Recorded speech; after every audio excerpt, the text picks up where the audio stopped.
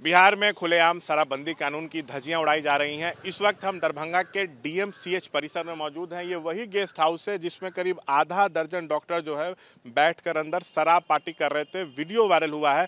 आनंद फानंद में पुलिस की टीम पहुँची है। जो डॉक्टर शराब पार्टी कर रहे थे वो फरार है।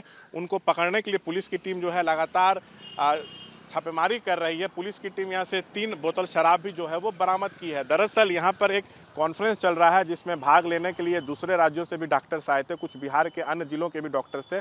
वही लोग इसमें ठहरे हैं और उसी दौरान जो है वो शराब पार्टी हुई है।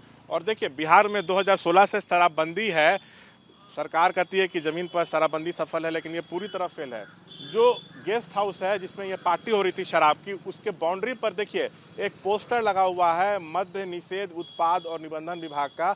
इसमें लिखा हुआ है कि शराब को छोड़िए, सेहतमंद रहिए, और ये भी बताया गया है कि शराबबंदी बिहार में सफल हुई है। बताइए पोस्टर लगाया गया है, और उसके बाद भी लोग इस पोस्टर को देख रहे हैं, तब भी अंदर शराब पी रहे हैं। तो कानून का भी डर जो है डॉक्टरों को नहीं है।